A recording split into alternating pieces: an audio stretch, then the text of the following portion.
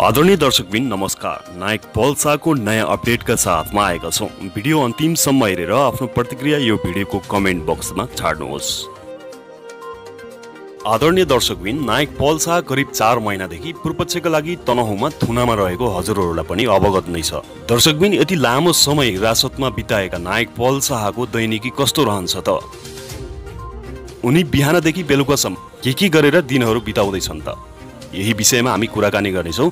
दर्शकबिन भिडियो अन्तिमसम्म हेर्नुहोला। साथै हाम्रो च्यानलमा नयाँ हुनुहुन्छ भने यस्तै जानकारीमूलक भिडियो सुरुमै हेर्नका लागि हामीलाई सब्सक्राइब गर्नुहोला। पल्साको बिहानदेखि रातिसम्मको समय कसरी बित्छ त? के के गर्छन् त फलसाहा बिहान पाँचदेखि छ बजेको समय भने जेलमा भएका व्यक्तिहरूको उठ्ने समय रहेछ। नायक पल शाह पनि त्यही समयमा बिहान उठ्ने गर्छन्। बिहान उठेपछि जे कुरा गर्दा पनि लाइन लागेर गर्नुपर्ने रहेछ। टोयलेट बाथरुम जाँदा पनि लाइन नै लाग्नुपर्ने रहेछ।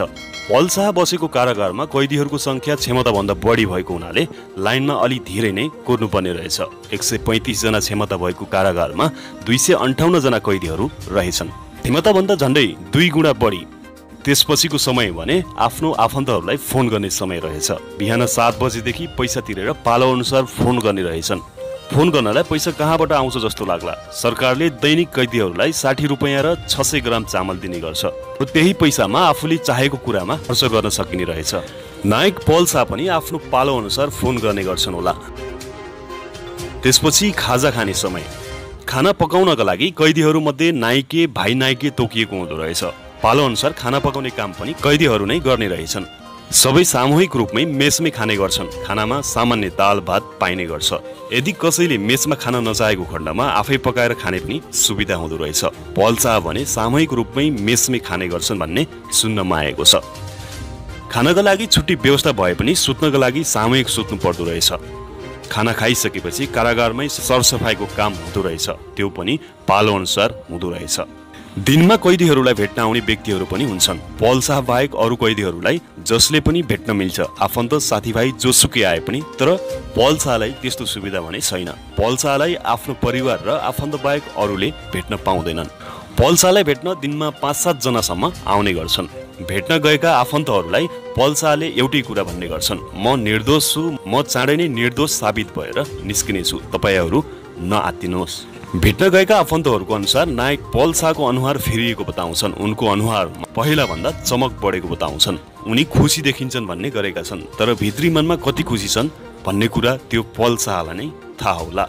पल्सा बसेको कारागारमा पढ्नलाई किताब र समाचारका लागि पत्र पत्रिका र टेलिभिजनको व्यवस्था पनि रहेको छ। क्षमताभन्दा बढी करिब दुई सय अन्ठाउन्नजना कैदीहरू भएको हुनाले टेलिभिजन हेर्न त गाह्रै पर्छ होला। त्यसपछि रातिको समयमा कैदीहरूमध्ये नै एउटा चौकीदार पनि हुन्छ र पालो अनुसार नै खाना पकाउने काम पनि हुन्छ। सबै सँगै खान्छन् र सबै सँगै नै सुत्ने गर्छन्। तपाईँलाई अचम्म पनि लाग्न सक्छ। यति धेरै कैदीहरू सँगै खान्छन् अनि कसरी सँगै सुत्छन् होला भनेर। तर त्यस्तो होइन। दर्शकबिन खाना र सुत्नको लागि ग्रुप अनुसार कोठाहरू छुट्याएको हुने गर्छ। कोठाहरू ब्लक अनुसार छुट्याएको हुने गर्दछन्। नायक पल्सा ब्लक बीमा बस्ने गर्छन्। यसरी नै नायक पल्साको दिनचर्या बित्ने गर्दछ। पल्सा सेलिब्रिटी भएको हुनाले अरू कैदीहरूले नायक पल्सालाई राम्रो सम्मान गर्ने गर्छन्। पल्सा यसरी मिलेर बसे पनि बाहिरी अनुहारमा खुसी भए पनि घरको याद साथीभाइको यादले त पक्कै सताउँछ होला। घरमा बसेको जस्तो त अवश्य हुँदैन होला। आशा गरौँ दर्शकबिन यो खुसी वास्तविक खुसी बनोस् चाँडै न्याय मिलोस्। हाम्रो शुभकामना। दर्शकबिन आजको अपडेट कस्तो लाग्यो? आफ्नो सुझाव सहित अहिले हामीलाई कहाँदेखि हेर्दै हुनुहुन्छ कमेन्टमा अवश्य बताउनु होला धन्यवाद यहाँको दिन शुभ